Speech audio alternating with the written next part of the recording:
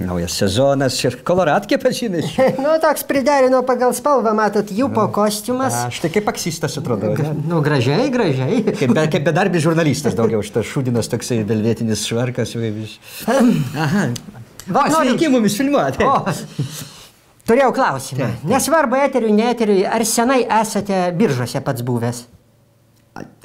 Nepamenu.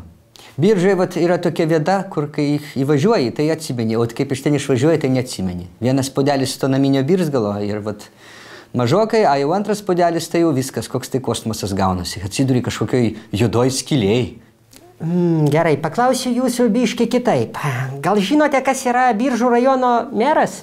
Nu, jūs manęs tokio dalyko klausinėjat, nu jei buvo. Nu, aš žinau, kas yra biržėtiška kobra. Žinau, kas yra biržėtiška žaibo kirtis. Žinau, kas yra uraganas Anatolijus. Biržų rajono meras yra Valdemaras Valkiūnas. Per vieną kadenciją buvusiame Seime pakeitęs aštuonias frakcijas ir penkias partijas.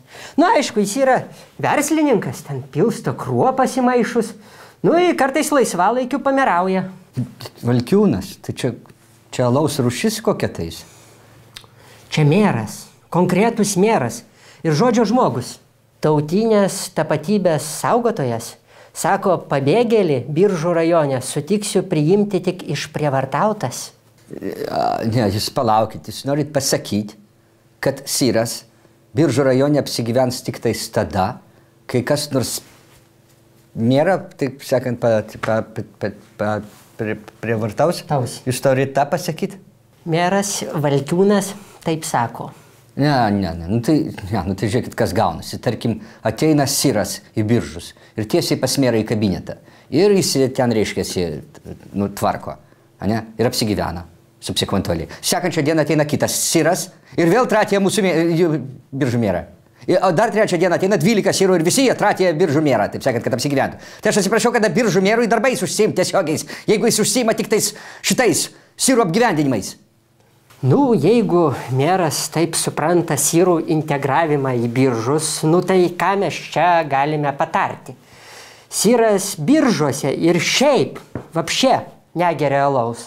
Nu tai siūlo meras naujus būdus. O ką kitų rajonų merai? Širvintuvat rajonų meras ką siūlo? Nu, Širvintų rajono meras tyli.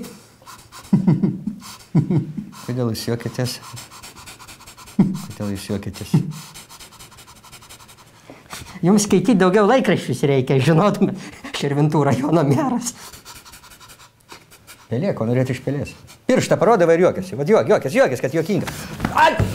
Ai!